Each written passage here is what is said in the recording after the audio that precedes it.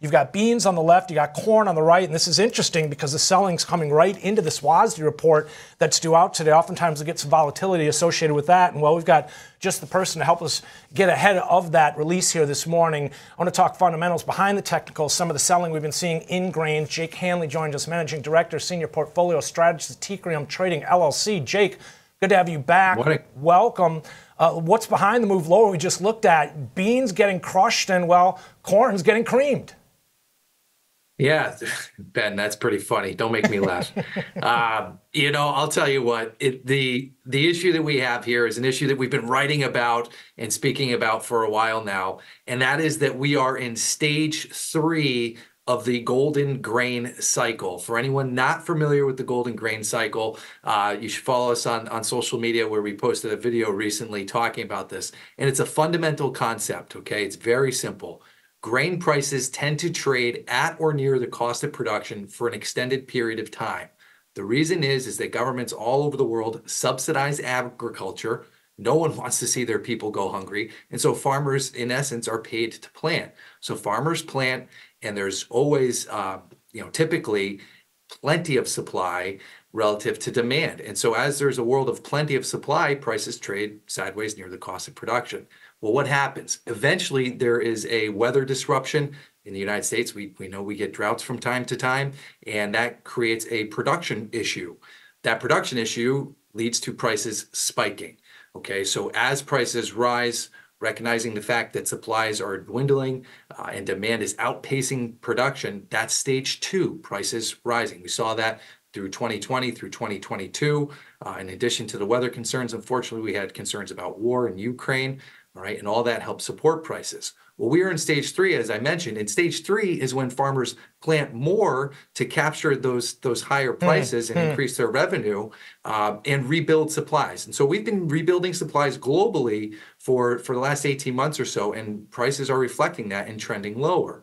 We think our base case for 2024 is that we will reach that level of cost of production again and begin to trade sideways at some point here, um, you know, perhaps over the, summer or the second half of of 2024. You know, it's kind of funny, and uh, you know, we, we oftentimes equate that to very similarly to energy prices, right? We talk about lower prices create uh, increased demand. That increased demand ultimately creates more production, which uh, you know, so you see those price fluctuations here. Uh, um, we'll continue to watch that those phases play out. But I wanted to talk about another product, which I'm not sure how closely you follow this one. It, again, kind of along those lines, not the most heavily traded by any means, but brought to my attention recently cocoa to new all-time highs. Yeah, well, cocoa to all-time highs is is uh, really trouble because I love chocolate and Valentine's Day is around the corner. um, so you know, it, it, I think that's a great example of weather wreaking havoc on on agriculture. And you know, as you broke down the price chart there, and you always do that so well as a uh, chartist myself. I love commodities because the fundamentals are simply supply and demand. Mm-hmm. And when you have weather disruptions in, in key growing areas such as South America uh, for, for cocoa, um, you have production issues. And as demand increases, you know, again, Valentine's Day is around the corner, um, you know, and supplies aren't meeting demand, you're going to have prices move higher. It is that simple in commodities, which is why I'm a commodities guy. Kind of tying back into that uh, corn discussion as well, beans uh, also in terms of production there. Let's talk a little bit about today's WASDE report. Uh, what are we expecting? Yeah, so February is not typically an exciting month for, for the okay. WASDE. Um, however, that said, there are some wide ranging estimates from analysts as it relates to South American production. Uh, again, talking about weather. Uh, we are in the throes of an El Nino, um, you know, and, and perhaps even looking back to get into a La Nina at the end of the year, but that's uh, to be seen. So El Nino is having an impact on South American production, uh, in particular the northern parts of Brazil, as it relates to soybeans. And so analysts are looking uh, for the Brazilian soybean production to be revised lower. The United States is still showing about 157 million metric tons as of the January WASDE. Uh, low analyst estimates have that coming all the way down to 150.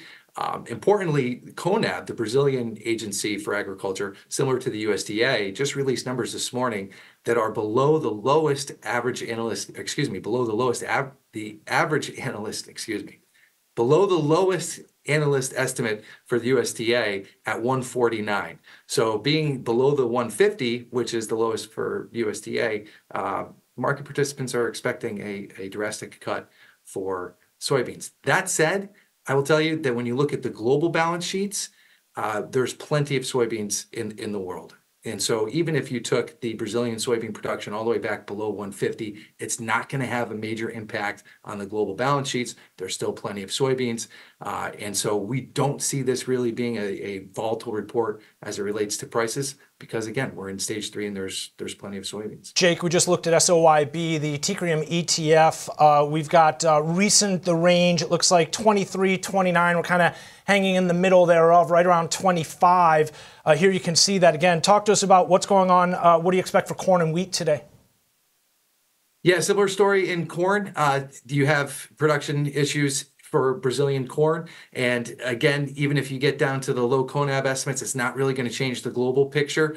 Uh, wheat, however, wheat is the one where there is some bullish fundamentals. Uh, the wheat supply demand situation globally, uh, we're looking for tighter global supplies in this crop year. And so that is fundamentally supportive for wheat. Of course, wheat has been trading lower along with the complex. Uh, but again, from a global supply demand perspective, it has the best fundamentals in that there is consumption exceeding demand. And Ben, you know, you brought up something I just want to go back to briefly, and that was as it relates to oil. Mm-hmm. Okay, so as you see with oil prices, and we've witnessed in the ETF markets, um, as oil gets near the cost of production, investors have the idea that that's a potentially good time to buy, you know, as something is trading near its cost of production. Well, we've seen that play out with, with our funds as well. And so we do anticipate that as these prices stabilize and begin to trade sideways as they have historically, we expect investors to uh, continue to allocate to those uh, commodities as prices are moving sideways in anticipation of the cycle playing out again. That said, as well, seasonals right now, typically you have good seasonal strength between February uh, going into the early summer period. And, you know, the hedge funds that are short these markets right now playing momentum, okay, know those seasonal technicals very well. And so if prices do start to rally a little bit here, that could feed on itself by way of short covering. So even though this is all bearish and the fundamentals are bearish, there is always that technical trading aspect to pay close attention to, uh, which could lead to prices rallying in the near term. Jake, I'm glad you brought the discussion back around to crude because uh, that's actually where I was headed in some ways, uh, kind of indirectly. Crude, we've been talking a lot about how at these levels, very much uh, uh stomaching very well the uh, events that have been playing out in the Middle East, and we haven't really seen an impact much on price yet. How much of a, a event or game changer is it for grains? some of what we've seen in terms of shipping lanes and having to go around uh, uh, that longer trip around uh, Africa ultimately. What does that do for the grains uh, markets and uh, impacts there?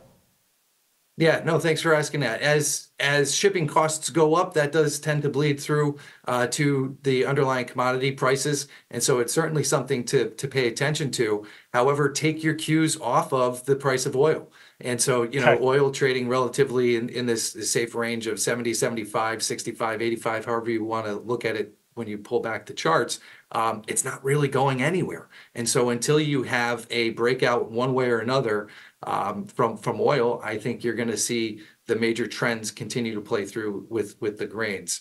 Uh, and it's interesting that the markets are not trading the headlines um, out of out of the Red Sea or, or, the Black Sea. We still have a war raging in in uh, Ukraine as well, um, and so those prices tell me that we have plenty of crude oil in the world, and we're we're comfortable at these levels. Jake, kind of just to uh, end where we started off here, I mentioned how the grains on our show have been kind of overshadowed by what we've been watching as far as the indices, the new all-time highs, expectations for rate cuts, and all the focus on the Fed. We've got some data headed our way in just a couple minutes here, but talk to us about your uh, uh, thoughts on the broader market, the rally we've seen, three of the four major indices into new all-time highs again this week.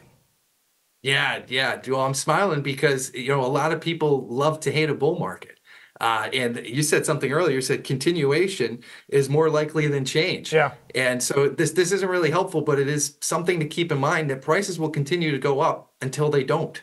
Yeah. Um, and and I love the fact that when you look at stocks, okay, stocks trade based on supply and demand. A lot of people like to talk about fundamentals, and that's that's fine. But when the fact is boiled down, you have a limited number of stocks trading at any time, and the price is reflected of the demand for those stocks. It's the same thing with commodity prices, which is why paying attention to the charts is really important. Uh, you could say that NVIDIA evaluation makes no sense whatsoever, but yet the price closed over 700 yesterday. And Yeah. so I'm I'm happy to own it. brought to my attention uh, many years ago that trend is your friend here, and that still continues to be the case here.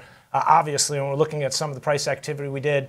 Uh, Jake, appreciate you joining us here. Thanks for sharing part of your Thursday. Jake Hanley, Managing Director, Senior Portfolio Strategist, Teucrium Trading LLC.